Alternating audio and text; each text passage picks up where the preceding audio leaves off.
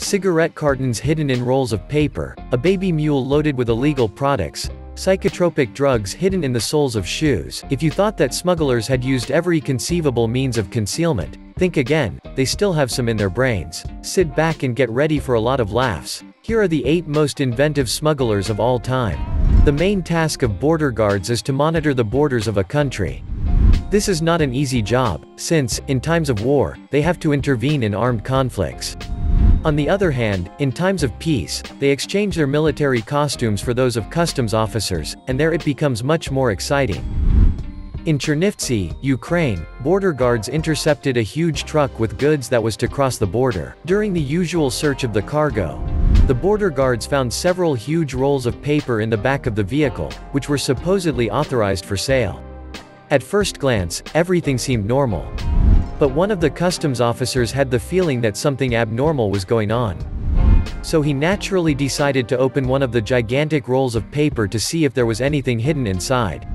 That's when he discovered that it contained several hundred cartons of contraband cigarettes. The driver of the truck was trying to smuggle the merchandise to a safe haven somewhere in Europe.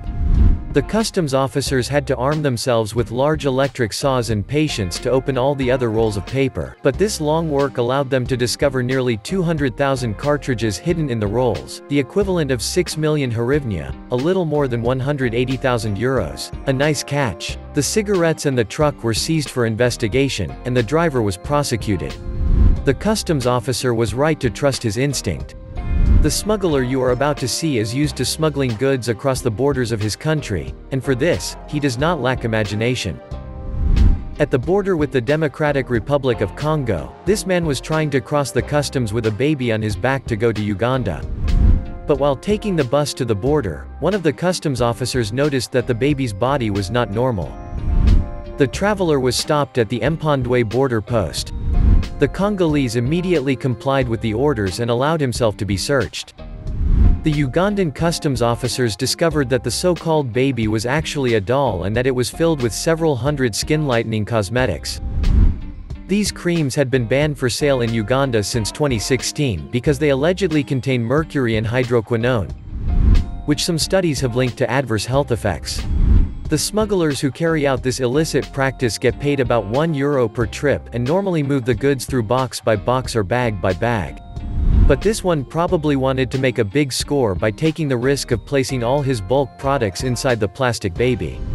The smuggler had all his merchandise taken away as well as the doll he used to work with. We don't know what happened to him after this case. Still in the category of the most incongruous and unsuspected mules, here is an absolutely unusual case. One day, in the Sri Lankan borders of the Colombo airport, a man with a strange gait was pacing back and forth while waiting for the call to board. The 45-year-old traveler was scheduled to fly to India, and like all travelers, he had to pass through the famous metal detection barrier before he could board. When he arrived in front of the metal detector, it started to ring loudly, which only confirmed to the airport agents that something was wrong with the traveler. Indeed, the traveler was betrayed by his suspicious behavior and his difficulties to walk normally. What was the surprise of the controllers when they discovered after several thorough searches that the man was trying to transport clandestinely almost one kilo of gold divided into seven small ingots and jewels, which he had apparently taken care to hide in his rectum. The value of the loot, packed in a small plastic bag, was estimated to be around 25,000 euros. However, the mule was allowed to go free, after paying a fine of 550 euros. Next time, he might choose smaller ingots, who knows, maybe he will pass incognito. In 2017, two drug traffickers were among the passengers on an American Airlines plane from Puerto Rico to New York. To avoid being caught by law enforcement, they thought to place a huge amount of heroin in their dog's cage. The dog was used as a mule to discreetly transport the drugs by air. But when they arrived at John F. Kennedy Airport in Queens, the two men who were impatiently waiting for their booty in the cargo area were immediately arrested by the police, who a few moments before had discovered the drugs in the dog's transport case. The two suspects, 27 and 35 years old, had disseminated an estimated $1 million worth of heroin in the crate. The two men, from Putnam County and the Bronx respectively, were held accountable and faced charges of conspiracy and drug possession. They left the airport with their hands tied, without a gram of heroin on them but with a heavy prison sentence on their backs, up to 20 years.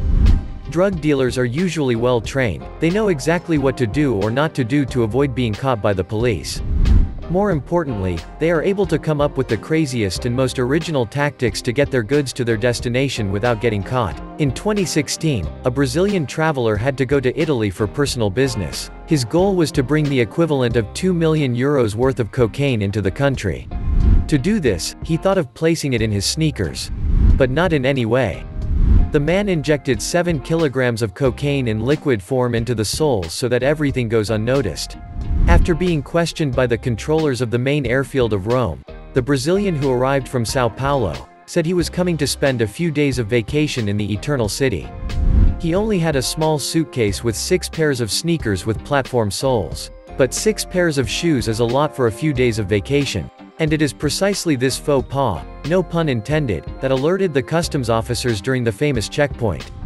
The tourist was forced to confess afterwards that he had introduced the drug with the help of a syringe, in the gel of his shoes so that the controllers could see only fire. Thus, the Brazilian was arrested at the airport of Fiumicino. Maybe he should have filled his suitcase a bit more if he wanted to attract less attention. In Washington, D.C., three individuals formed a gang that engaged in illegal and fraudulent practices. They were making fake passports, fake IDs, fake driver's licenses and fake credit cards in order to withdraw money from bank tellers. Their schemes worked quite well, so much so that for a long time no one realized they were scammers. But one day, while trying to trick one of the banks in the city of Spokane once again, the three individuals were found out. It was probably by behaving strangely that the three people attracted the attention of the banker, who soon noticed that they were using fake cards to withdraw money. The fraudsters fled as soon as they noticed that the banker was looking at them strangely. Sometime later, they were arrested by the city's police and taken into custody. And it is only once in cell, that the woman who was part of the gang had to reveal the $26,000, that is to say 18,900 euros, that she was hiding in her bra. After all, why not since she said to herself that nobody would dare to look in her underwear. Nothing ventured, nothing gained, so they say. The woman and her two accomplices were finally incarcerated for their fraudulent acts. Hervin Dominique Battery is a young man of 33 years old who works as a mason. One day, he was invited by his girlfriend to Madagascar, where he spent a few days of vacation. Hervin was on methadone, a drug that helps people get over their addiction. Two days after his arrival in Madagascar, Hervin was taken of a violent malaise, because he had not received his methadone treatment. Otherwise, he had bought a box of psychotropic drugs to replace his usual treatment.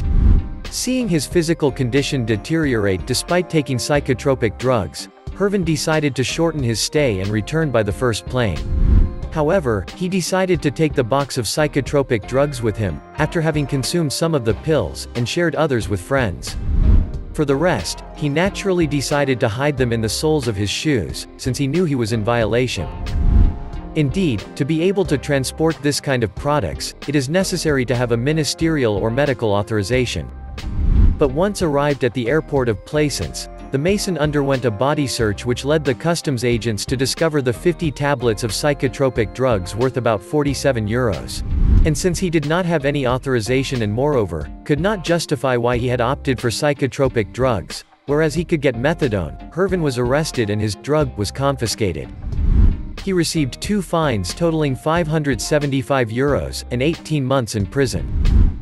Before the rapid evolution of technology and messaging systems, pigeons, which can carry objects weighing up to 10% of their weight, were used to transmit messages between individuals. But although they are intelligent animals, they can sometimes fail in their duty and get the wrong recipient. This is precisely what happened to this carrier pigeon which, to the great misfortune of its addressees, landed near the Iraqi borders instead of transmitting the parcel to its true recipient. The pigeon had just walked into the lion's den, as Kuwaiti agents were able to catch it and discover that it was carrying a bag filled with 178 pills of ketamine, an anesthetic drug similar to ecstasy and MDMA. The bird was most likely flying from Kuwait to Iraq. It was carrying a bag on its back that was the same color as its plumage so that it would blend in perfectly. But this was without counting on the Kuwaiti agents who are used to intercepting mule pigeons, and who monitor both land and air borders.